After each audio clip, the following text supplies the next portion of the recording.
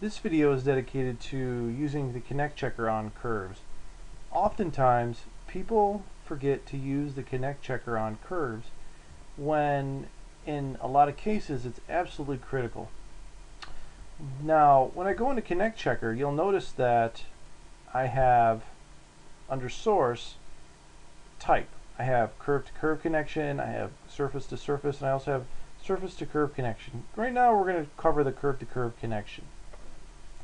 I select my two curves and you'll notice that I have a break in curvature. It's at 43.32%. And the curvature means the exact same thing here as it did in surfaces. It's a range of 0 to 100%. The closer to 0, the closer to curvature I have. The, clo the closer to 100, the closer to no curvature, or just simply tangency, or maybe just even uh, G0 positional. If I come in here now and click on G1, you'll notice that I have over half a degree. It's 0.62 degrees. Now, I also have the ability to go in there and check G0, and you'll notice that I have a, a slight little deviation. And this is telling me that the endpoints of these two are greater than 0, or my allowable deviation. So if I come in here and I mark this, say, 0.3, you'll notice that it washes it out. But if I have a deviation allowable of 0.00, let's say 5, again, I'm having an issue. If I zoom way up on this, you can see I have a slight little overlap between those two curves.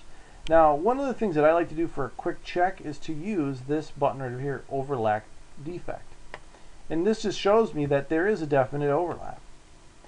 So by doing that, I'm verifying that there is an overlap. It's just a quick way, rather than having a zoom up, maybe you might have three, five, ten curves on this on a on a on a string, and you want to verify that there are no overlaps. This is a really good way to do that.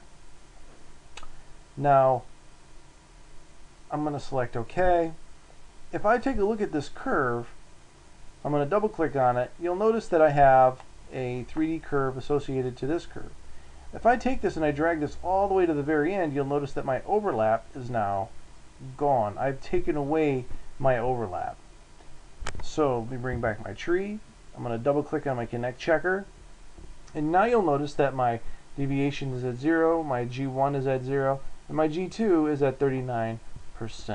So this is telling me that I moved my curve to the very end point and I've achieved very desirous results. You'll notice that there's no overlap. Um, G0 is good, G1 is good, and uh, G2 is just under 40%. So even that improved just a little bit. And that is how you use Curve Connect or Connect Checker for curves. Now, in older versions of V5, there was a tool called Curve Connect Checker. It was separate, but here they've combined them in later revisions of CATIA V5 and in V6. It's the same thing.